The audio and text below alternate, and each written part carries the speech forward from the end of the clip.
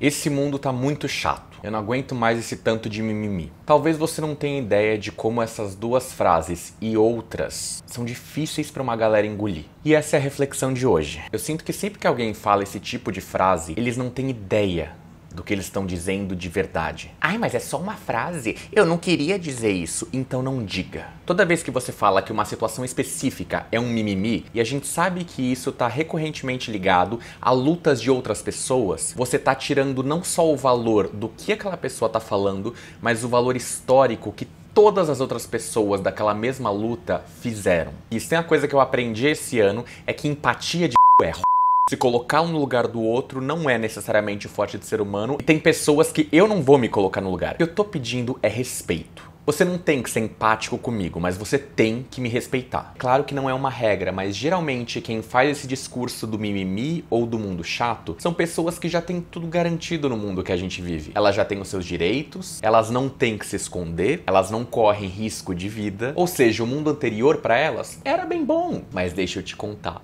o mundo mudou e você vai ter que mudar com ele. Se o mimimi existe para você, é porque provavelmente você nunca teve que se colocar na frente de uma causa, dar a cara a tapa mesmo, para ter o direito de existir. E importante, eu não tô falando aqui da sua militância para que ninguém te enche o saco por você gostar de assistir filmes franceses. Eu tô falando de existência mesmo, pessoas que não podem sair na rua sem medo de morrer, pessoas que constantemente são agredidas, verbalmente, fisicamente, moralmente. Repense esses discursos, porque não dá mais pra gente gente ouvir que o mundo tá chato ou que tudo é mimimi. E se mesmo com tudo isso você ainda não tá convencido, só pense em uma coisa. Quantas vezes você precisou gritar para ser ouvido? Quantas vezes você precisou dar cara para bater para ter direitos básicos? Se a sua resposta foi nunca, é porque essa água nunca bateu na sua bunda. Então não atrapalha quem tá lutando para existir.